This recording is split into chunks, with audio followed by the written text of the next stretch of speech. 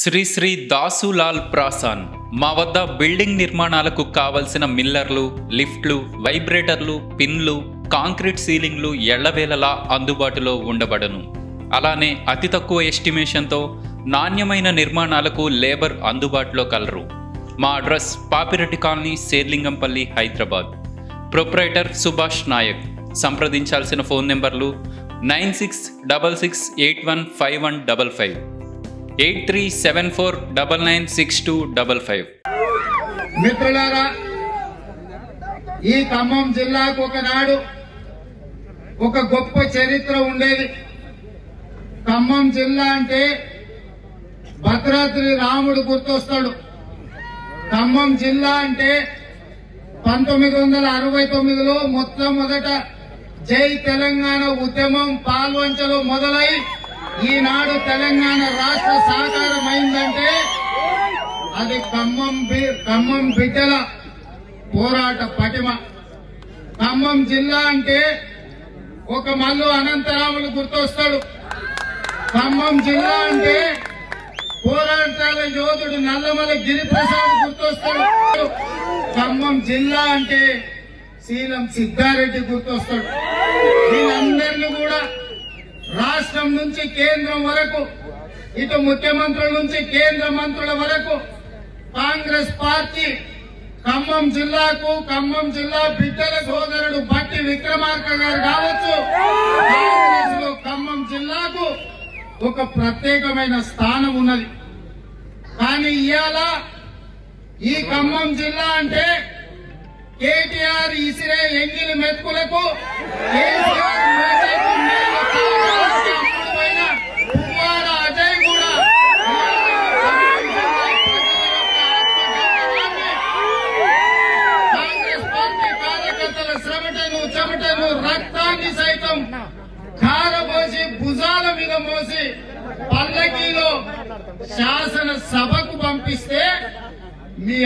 గౌరవాన్ని కేసీఆర్ కాళ్ళకాడ తాకట్టు పెట్టి దళితుల భూములు గుంజుకుని కళాశాలను వ్యాపారం చేసుకోవడానికి అమ్ముడువైన దరిద్రుడు పువ్వాడ అజయ్ కూడా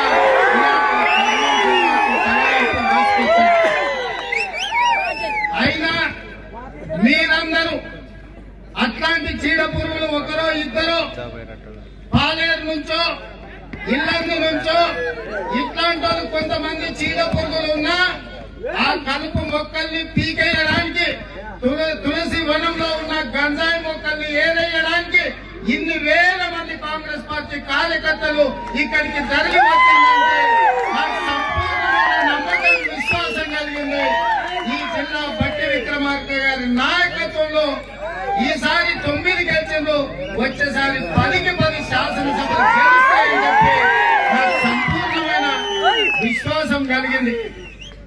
మిత్రులారా ఇక్కడికి వచ్చిన ప్రతి ఒక్క రైతు జాగ్రత్తగా వినండి.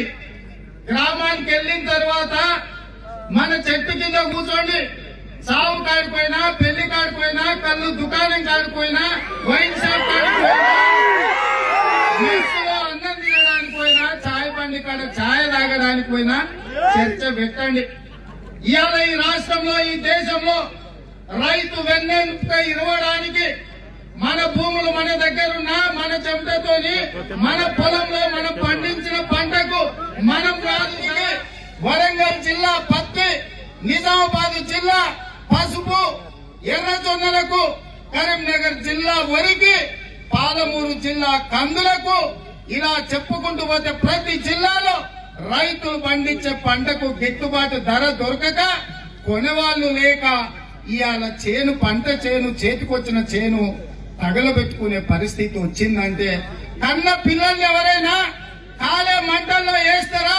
కష్టపడి నాలుగు నెలలు ఐదు నెలలు దుక్కి దున్ని ఇత్తనాలు చల్లి కష్టపడి రాత్రి పగళ్ళు కాపాడుకున్న పంటను మంట పెట్టి తగలబెట్టుకునే పరిస్థితి ఇవాళ తెలంగాణలో దాపురిచ్చిందంటే రైతులు ఎంత ఇబ్బందికరమైన పరిస్థితులుండో ఖమ్మం బిడ్డలుగా మీరు ఆలోచన చెయ్యండి. ఇవాళ అందుకే కేంద్రంలో నరేంద్ర మోడీ మూడు బిల్లులు తెచ్చిండు పార్లమెంట్లో మేము అడ్డం పడితే ఈ బిల్లుల వల్ల రైతుల బతుకులు చితికిపోతాయి రైతుల బతుకులు కాలిపోతాయి వద్దురో మరో ఈ బిల్లులు అంటే మమ్మల్ని బరబర ఈడ్చి పార్లమెంటు బయట పడేసి ఆ బిల్లులు పాస్ చేసుకున్నాడు. ఆ బిల్లుల వల్ల జరగబోయే నష్టం మూడు మాటలలో చెప్తా. కాంగ్రెస్ పార్టీ గతంలో పెట్రోల్ అమ్మేటోడు పెట్రోల్ ధర చెప్తాడు. బట్టలు అమ్మేటోడు బట్టల ధర చెప్తాడు. బజ్జీలు అమ్ముకునేటోడు బజ్జీల ధర చెప్తాడు. ఇవాళ ఏదైనా సారా అమ్మేటోడు సారా ధర చెప్తాడు సీస అమ్మేటోడు సీస ధర చెప్తాడు. కానీ రైతు పండించిన పంటకు వడ్లకు గాని మిర్చి గాని ఉప్పు గాని పప్పు గాని ఎవరు చెప్తారా? బజార్ పోతే దళారోడు ధర చెప్తాడు. మనం చెప్పే పరిస్థితి ఉండదు. వాడు దయదలిచి ఇచ్చిందే. నీ పాంచందోళన తీసుకునే పరిస్థితి రైతులకు ఉన్నది కాబట్టే కాంగ్రెస్ పార్టీ ఆలోచన చేసి దళారి చేతుల్లో మోసపోతున్న రైతులకు కనీసం పెట్టిన పెట్టుబడితో పాటు సగం లాభం రూపాయి పెట్టుబడి పెట్టే రూపాయి కాటాను కలిపి రూపాయి నర స్వామినాథన్ కమిషన్ రికమెండేషన్ ప్రకారం మినిమం సపోర్ట్ ప్రైస్ ఉండాలి. అంతకంటే తక్కువకి ఇవ్వడన్న కొంటే పీడీ యాక్ట్ తోని బేడీ లేచి కటకటాల వెనక్కి నెట్టడానికి కాంగ్రెస్ పార్టీ చట్టం తీసుకొచ్చి రైతులకు రక్షణ కల్పించిన కాంగ్రెస్ పార్టీ. ఇవాళ నరేంద్ర మోడీ ఎవరైనా కొనుక్కొని ఎంత అంటే అంత స్టాక్ గోడౌన్లలో పెట్టుకుంటే ఆనాడు ఎవడైనా రోడ్డు మీద బయటోడు ఫిర్యాదు చేసిన పీడీ యాక్ట్ పెట్టి లోపలేసే పరిస్థితి కాంగ్రెస్ పార్టీ చట్టం తెచ్చింది. ఇవాళ నరేంద్ర మోడీ తెచ్చిన చట్టంలో ఏ ధరైనా కొనేటోడే నిర్ణయిస్తాడు. వాడు ఎంత ఇస్తే కంత తీసుకోవాలి. ఏం చెప్తే కదా వినాలి ఎన్నడు ఇస్తే అన్నాడు తీసుకోవాలి. తీసుకోనికే గాని ఇయనికే గాని ఒప్పందాలు లేవు. ఇవాళ ఎవడైనా బ్లాక్ మార్కెట్ చేస్తాడు. లక్షల బస్తాలు కొని గోడౌన్లలో పెట్టుకొని నేను వార్త మొత్తం మొత్తం మొత్తం ఏమంటారు? మొత్తం ఏరియా అంటే కరువు లాంటి పరిస్థితి కల్పించి మొత్తం ఎక్కడ దొరకకుండా చేసి బ్లాక్లు అమ్ముకోవడానికి చేస్తే ఇవాళ పీడీ యాక్ట్ ఎసెన్షియల్ కమాడిటీ యాక్ట్ను నరేంద్ర మోడీ రద్దు చేసిండు. ఇవాళ నుంచి ఏ దళారైనా ఎంతైనా కొనుక్కోవచ్చు. ఏ గోడౌన్లైనా పెట్టుకోవచ్చు. ఎవరికి పట్టుకునే చట్టం లేదు. ఇంకొకటి ఆయన చెప్తుండు రైతు పండించింది ఎక్కడైనా పోయి అనుకో అమ్ముకోవచ్చు అని నేను అడుగుతున్న మోడీ నువ్వు సంసారం చేస్తే నీకు కష్టం సుఖం తెలుస్తా. సంసారం లేదంటే ఏం తెలుస్తా? సమాజంలో తెలుస్తుందా రెండు ఎకరాల రైతు ఖమ్మంలో పాల్వంచల్లో మదిరలలో లేకపోతే ఎక్కడైనా రెండు ఎకరాల రైతు మిర్చి పండిస్తే బొంబాయికి వెళ్ళి అమ్ముకుంటాడా? బెంగళూరు పోయి అమ్ముకుంటాడా? అమ్ముకుంటే కిరాయి పైసలు వస్తాయా? ఇవాళ నల్గొండ జిల్లాలో పండించిన బత్తాయి నాగ్పూర్కు తీసుకుపోయి అమ్ముకుంటే వాడు ఇచ్చిన ధర తీసుకోవాల్సిన పరిస్థితి వచ్చింది. రైతు ఎక్కడైనా అమ్ముకోవచ్చు అంటారు ఎక్కడైనా అమ్ముకోవచ్చు అంటే ఇక్కడ ఉన్న మన మార్కెట్లను రద్దు చేసి ప్రైవేట్ వాళ్ళకి ఇచ్చేసాడు. ఇవాళ రైతులే కళ్ళంకాడుకు వస్తారంటే కళ్ళంకాడు కొనుక్కుంటారంట.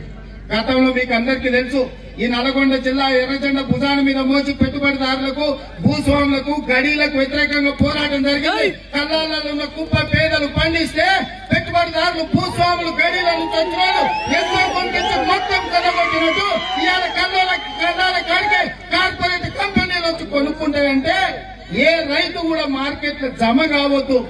ఆనాడు ఖమ్మం మార్కెట్లో మిర్చి రైతులు తిరగబట్టారంటే వివిధ గ్రామాల నుంచి వచ్చిన రైతులు వందల వేల మంది ఒక్క దగ్గర కూడేరు కాబట్టి కడుపు మండి కాలబెట్టింది కానీ ఎవరి కల్లంగాడ వాళ్ళు కుప్ప పెట్టుకొని అమ్ముకోవాలంటే కల్లంగాడి కంపెనీ వస్తాడు పోలీసు వాళ్ళు తీసుకొస్తాడు. వానికి ఇచ్చేది ఇస్తాడు ఎక్కువ తీయడు పుంజుకొని పోతాడు.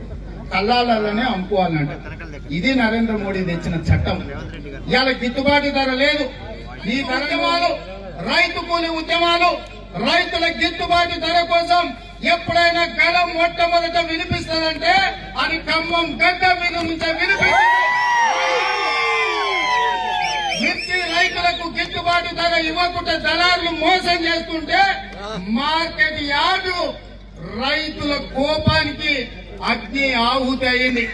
ఆనాడు రైతులు పోరాటం చేస్తే ఆనాడు రైతులు గజ్వల్ కేసీఆర్ ఫామ్ హౌస్లో గుంట భూమి అడగలేదు ఆయన ప్రాజెక్టు కమిషన్లలో వాటాలు అడగలే.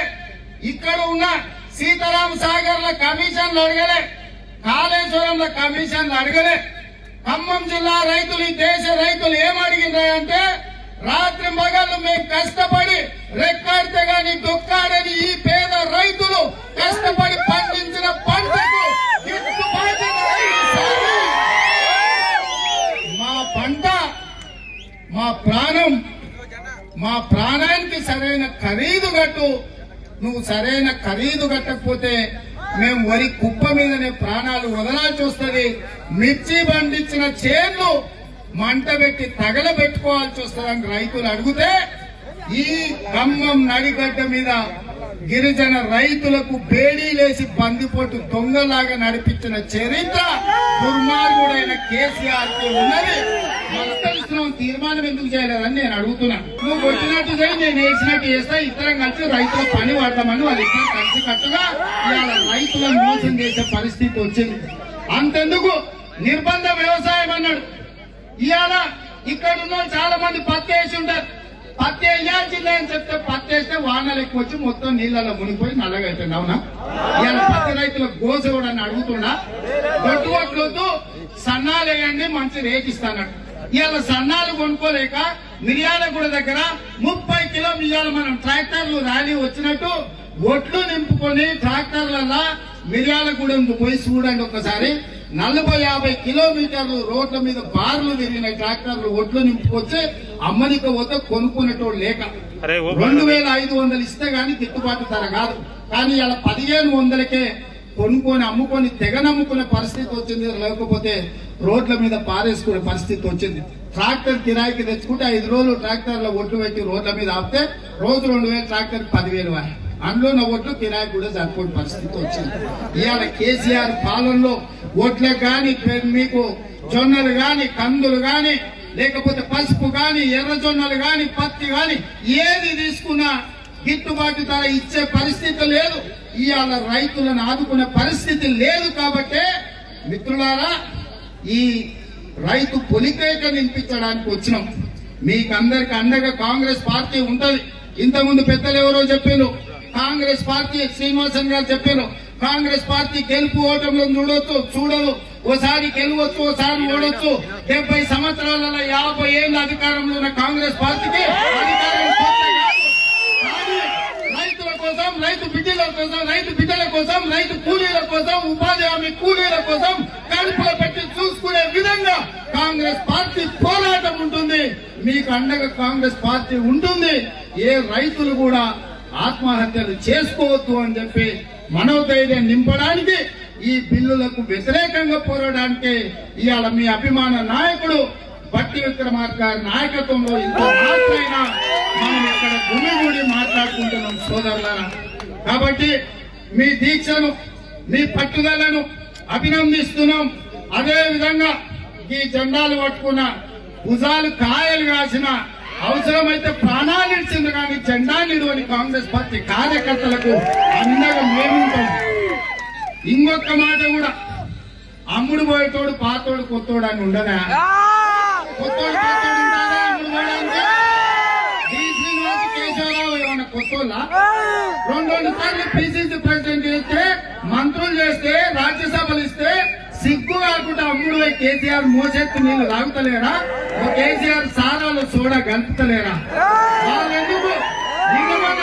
పువ్వాడ అజయ్ లేకపోతే సబితా ఇంద్రారెడ్డి లేకపోతే సుధీర్ రెడ్డి పాలేరులో పోయిన